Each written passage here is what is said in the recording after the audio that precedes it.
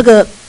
政次。我觉得我，因为我感觉是我们政府啊，尤其交通部，现现在很多机车族都在讲，我们一样是纳税的，哈，一样是缴很高的牌照税，为什么要对我们有这种歧视性的政策？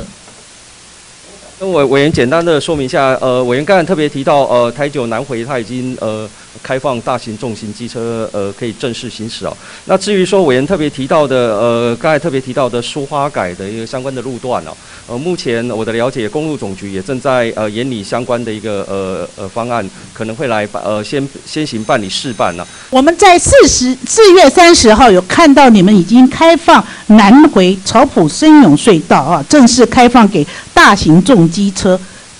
通行啊，那这个本席其实在当天就已经在在脸书上贴出来，然后也给你们掌声了。但是本席过去啊，曾经针对针对这个，不管是八卦山隧道，或者是苏花改开放这个呃我们重机啊，那交通部给我的感给我的回复就是，哎哎。都是为了安全，哈，都是为了安全。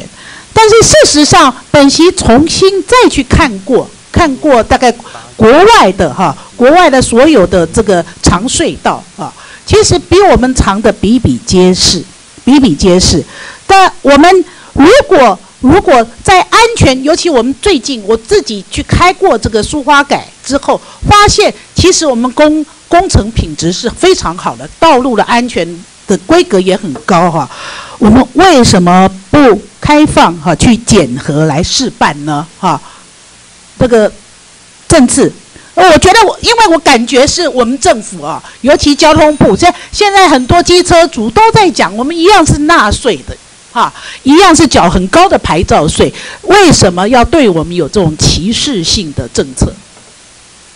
那我委员简单的说明一下，呃，委员刚才特别提到，呃，台九南回他已经呃开放大型重型机车呃可以正式行驶哦。那至于说委员特别提到的，呃，刚才特别提到的苏花改的一个相关的路段哦，呃，目前我的了解，公路总局也正在呃研拟相关的一个呃呃方案，可能会来呃先先行办理试办呢。但是因为每一个呃隧道它的限行也有条件不一样啊，所以呢恐怕还是要逐一的经过评估以后啊，呃才。来做呃逐步的一个开放。好，本席强烈要求对对于苏嘎苏花改的这个开放啊，你们的检核跟示范一定要尽早的实施，不要等到这个呃